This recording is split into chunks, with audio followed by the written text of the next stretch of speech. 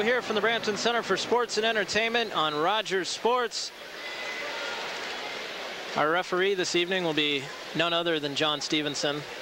They call him Hollywood for a reason, and you'll find out today, folks. yeah, that's what happens. You get into your uh, your rookie season, you're not used to the to the travel and uh, the school and everything, and then you realize how much bigger and how much more endurance you have to get in order to play in your second season, and Cairns has done that. So we're away and running. Klesla will play the puck in off the boards. Klesla will move it out on the right side. Here's a break now for the battalion. McClement pass into the middle. Rowan scores! Beautiful passing play has the battalion on the board in the first minute. And that's why Stan Butler put this line out there first. Richard Cairns, as we mentioned, has been very successful in two games so far against the Owen Sound Platers so far this year. And Jay McClement just gave him a great pass. He telegraphed it all the way. The defenseman still didn't have a chance on the play, and he goes upstairs on Curtis Sanford, waited for Sanford to make the first move, goes top shelf, and we're just 33 seconds into this hockey game, and the battalion have a lead, and something we talked about in the pregame show, they'd have to get out quick, and this would be a good team to get out quick against. Taking a look at the replay, great pass by McClement, and Rowan goes upstairs, and it's 1-0 Brampton. Chris Rowan around the board, stopped by Thompson. Centering pass right there. Didn't connect, knocked away by the Owen Sound defenseman. Now here's another chance for the battalion. Bateman to Reynolds scores That is a fantastic play. great movement. Thompson, Bateman, Reynolds. What a great job by the forward line, and they just handled the puck in there like they were taking candy from kids right in the Owen Sound uh, zone, and I know Dave Siciliano can't at all be happy by that, but great work behind the net. Thompson, backhand, no look pass to Bateman. Bateman makes a great move. And coming to the net is Reynolds, and a great job. He knocks it home, and you'll notice, Mike, that shot went right off the post, so some pinpoint accuracy there by Reynolds. In at the blue line. The Platers will set up the power play here. Back up top to Domkowitz. He'll shoot. His shot was blocked before it could get to the net. Platers moving around well. Stopped by Chan. Loose on the side of the net. Shot scores. Wes Goldie right on the doorstep has drawn the Platers to within one. That's why the captain is on the power play. Wes Goldie collecting his 14th goal of the season, and it didn't take long for the league's 17th ranked power play to get into action. A couple of power plays, we'll uh, get to that a little later in this game that have struggled all season long, but uh, no problems right there as Wes Goldie is there with a wide open net to beat David Chant, and we've got a lot of scoring so far in this hockey game. Good movement. Domkowitz moves it, and then a great cross-ice pass from Campbell right onto the tape of Goldie. And David Chant was caught down and out of position. And that brings the Platers to within one. So it just didn't work out. Kazarian can't move the puck ahead now. Here's a chance for the battalion. Havel with it. Backhand loose in front. Torres slapping at it. Sanford somehow able to scoop that puck out of the air. His pass deflected into the zone. Limer with it back there. Has it stolen. Now loose out in front is Cook. Shot. Rebound loose at the side of the net. Sanford is down. And somehow again, Curtis Sale doing a good job roughing up his man down behind the net. Pass across again for Torres. Up top, Klesla will shoot and score! Rusty Klesla has put the battalion back up by two on the power play. Very patient with just 44 seconds remaining in the first power play. Joel Ward, as you see, comes back on the ice. Curtis Sanford is beaten by Klesla. And good patience here on the part of battalion. Torres looking for something down low, doesn't see it, so he has to go back to the point to Klesla, and Klesla takes three steps in, winds up and lets a cannon go, and with the traffic created in front of the net, Sanford had trouble getting his eyes on it as we go back to the replay again from another angle. Watch the traffic in front of the net now. Yeah, great job there, and Klesla with Sanford having no chance to see it. Gets it by Sanford, and the battalion are now up three to one. And it's just like the old days. Brampton's having no problem putting the puck in the net. Now McClement up along the left side. Looks into the middle. Shot scores! Scott Thompson on the doorstep has increased Brampton's lead to three. Scotty Thompson, a huge night so far. He scored a couple of goals here for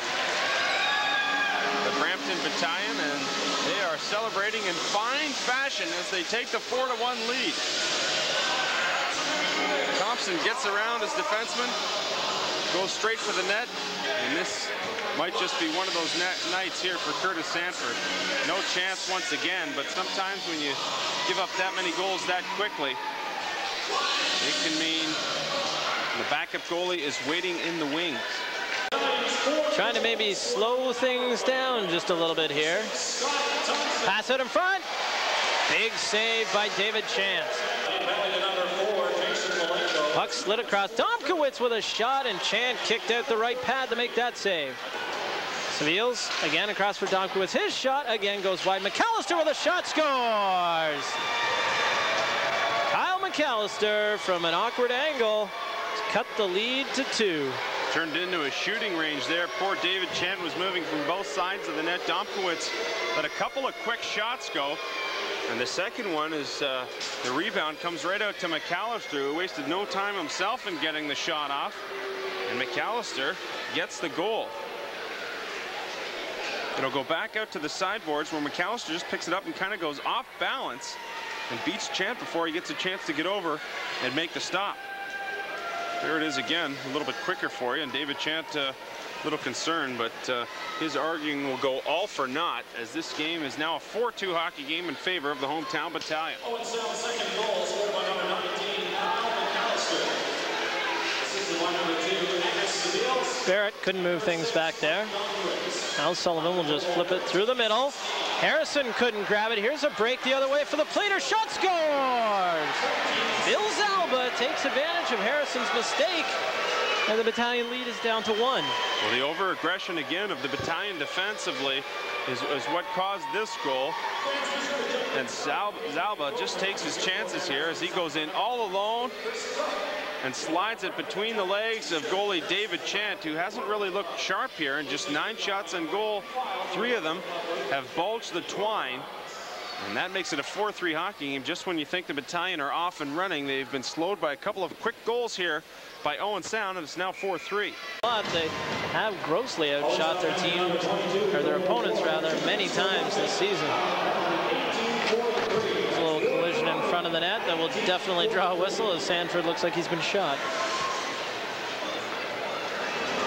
Sanford is down face first in a heap. I think Chris Menard notices that and came out to try and talk to a few of the battalion player. Not quite sure who was responsible for that.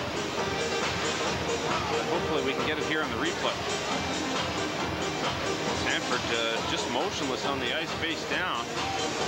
Corey Roberts, the backup goalie, has yet to start moving.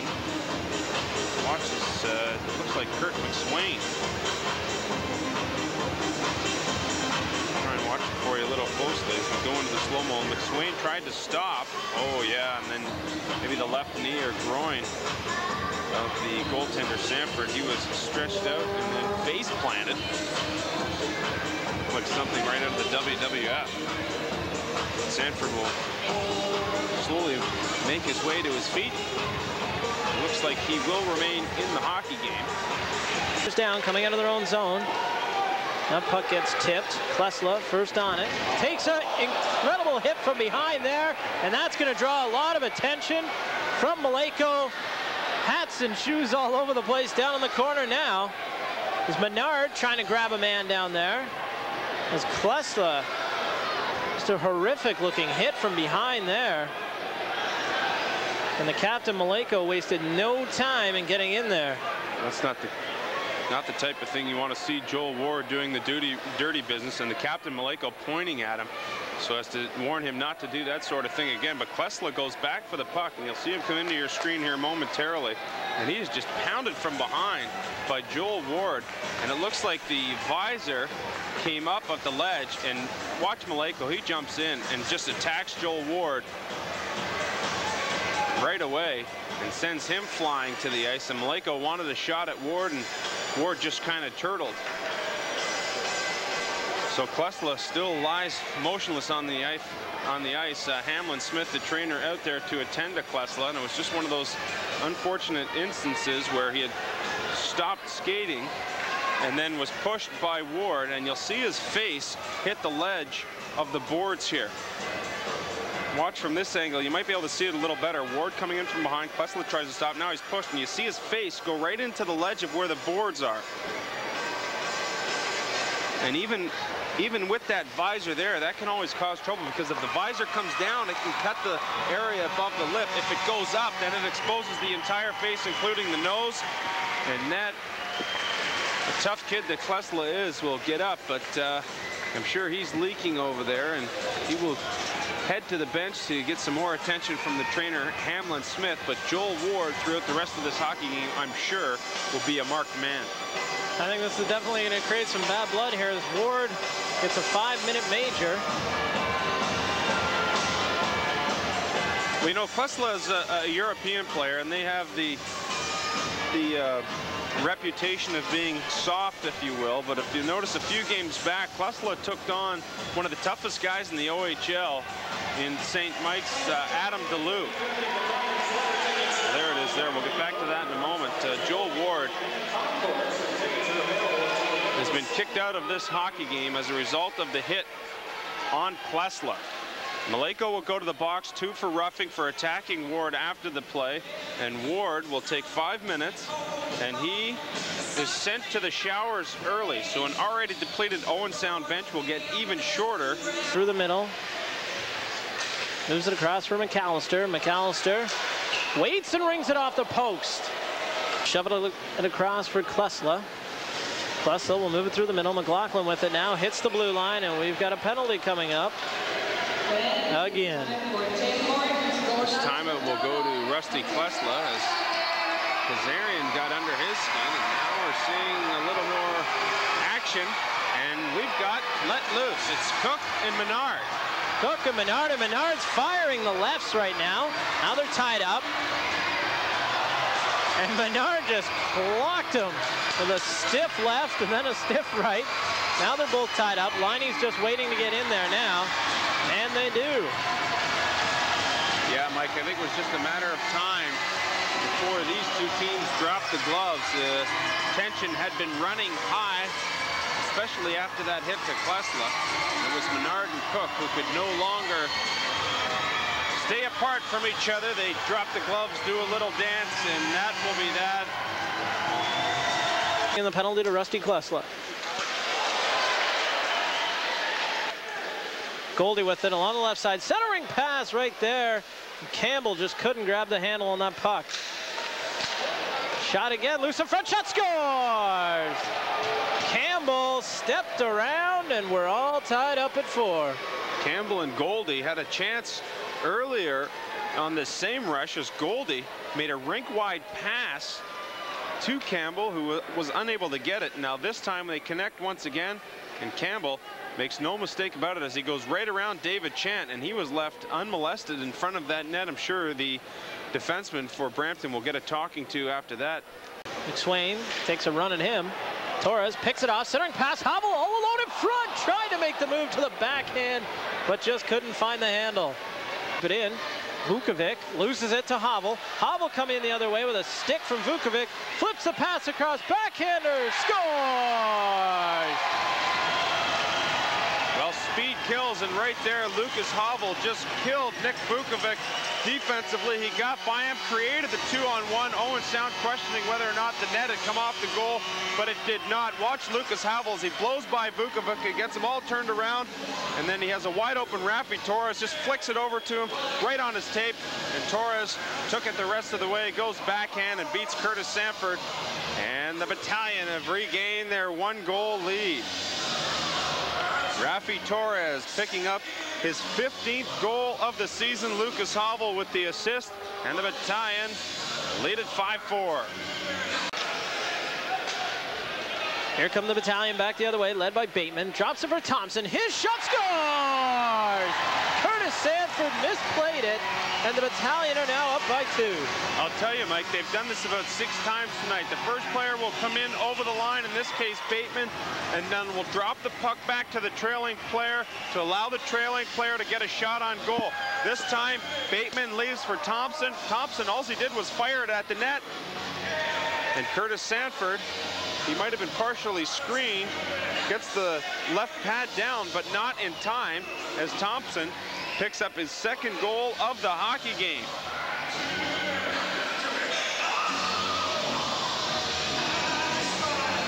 And again, the Brampton O is rolling. Wrist it back in the other way. Left for Limer. Centering pass, Havel along for McSwain scores. He just chipped it up over Sanford, and it's now 7 to 4. Well, I think Torres surprised Limer on the play, and he got it out in front to Havel and McSwain, and the Brampton Battalion are doing it again, folks. They now lead at 7-4. Watch Torres. He surprises Limer, pickpockets him, and then goes to Havel. Havel's on all sorts of time, but he finds McSwain streaking in off the left wing, and he goes up over Sanford's shoulder. That makes it 7-4. The Battalion now in control of this hockey game with a three-goal lead. So the Platers will move back the other way, trying to put a dent in this battalion three-goal lead. Campbell with a quick shot, and Chant just able to squeeze the glove on that one. Maleyko now getting roughed up down in the corner, loses the puck, centering pass, scores! All alone in front was Sullivan, and Owen Sounds back to within two. Well, defensively, Brampton fell asleep there. Maleyko back alone by himself with three Owen Sound platers all over him. Lukas Havel, the winger on the play, decided not to come back and help. Watch Maleyko as he's in the corner all alone. You'll see three, one, two, and the third one out of your screen right now. Well, he gets pickpocketed. And then in front of the net, Owen Sound able to get it out there and get the goal. Watch Havel. He starts to move towards the offensive zone. And there's two rather than three. Sorry, Owen Sound platers all over Maleyko. Coming in to get the goal for Owen Sound. Pass ahead now. Campbell's got Goldie going to the net. Campbell waiting, centering, pass scores! Goldie buries the biscuit in the slot, and suddenly Owen Sound back to within one. Well, Jason Maleyko got caught. You know, he's seen a lot of ice time here tonight, the captain has for Brampton, and is starting to catch up to him right now. He got caught, and as he tried to come back into the play, he looked to pick up Goldie, but he was too late getting there. Watch him trying to hustle back into the play. Gets the stick down. Both players have their stick down, but a great play to get the puck over to Goldie, who goes on the short side on Chant, takes a bit of a beating for it, but a good pass by Campbell as he threads the needle right onto the tape of Wes Goldie. And Goldie buries it, and just when you think it's over, the Platers come roaring back. It's now a one-goal game. In the corner. Here's a chance back the other way. Torres with a shot and a fantastic glove save by Sanford. Will slide it ahead. As we're inside of two minutes here in the third period, loose on the side, shot scores. That in the net, we don't know, but Kyle McAllister has tied things up at seven. Well, once again, another defensive lapse by the Brampton Battalion. And the veteran Mike Domkowitz finds McAllister on the left wing with a great pass and watch McAllister go short side on David Chant. As we said, he's looked shaky all night. McAllister gets control and he goes short side, blocker side on Chant. And this hockey game, folks, is tied. Can you believe it, Mike? Well, we saw Brampton cough up a 4-1 lead, and, well, they've just coughed up a 7-4 lead here in the third period. So it looks like we are headed for overtime. Just three seconds left on the clock. Face off to the left of Sanford. Torres will try to get a quick shot away. Couldn't do it. And a third period collapse here from the battalion after leading at 7 to 4 here in the third has led us here to overtime. Stopped in neutral ice. Goldie now tries to step around, takes a good bump there by Maleyko. Handchuck tried to throw one way up the middle, but that didn't pay off. Loose in front, shot, save, another shot, chance down. Nothing happening there as the net pops off with just under 30 seconds to go here in overtime. Oh. Handchuck, a couple of chances to clear the puck out. He put it right onto the tape for the two Campbells, Adam and Derek. They've been doing a fantastic job here tonight. A couple of cracks in front of the net, but Chant, huge in the nets for the Brampton Battalion, and he shuts the door before Owen Sound can bury it. Handchuck then comes back to make sure the net is dislodged. And with 30 seconds left, we've got a face-off just to the left. of the outstanding Brampton goaltender. 12 seconds remaining. Hits the blue line, and he'll just roll it in around the boards. Campbell charging hard after that puck. As time winds down here, and that will do it. As we've been treated to a fantastic hockey game here tonight in Brampton, but the downside of all this, Brampton had two three goal leads in this game. But we will be back to discuss that a little bit more, but we'll take a quick break. Again, here your final score tonight in Brampton. Battalion 7, Owen Sound 7. We'll be back with more here on Rogers Sports in a moment.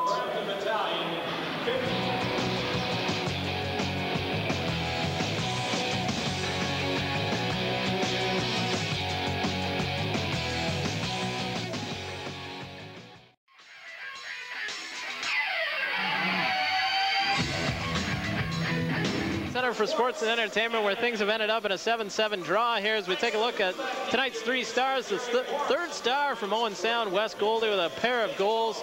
The second star, Rusty Klesla, a goal and an assist, and a real feisty game. And tonight's first star, Scott Thompson, two goals and one assist. And I think an honorable mention has to go out to Mike Domkowitz of the Owen Sound Platers. He was fantastic, and he must have logged over 35 minutes of ice here tonight. As you mentioned, Mike, I don't think he left the ice in the entire overtime period, so he was outstanding as well.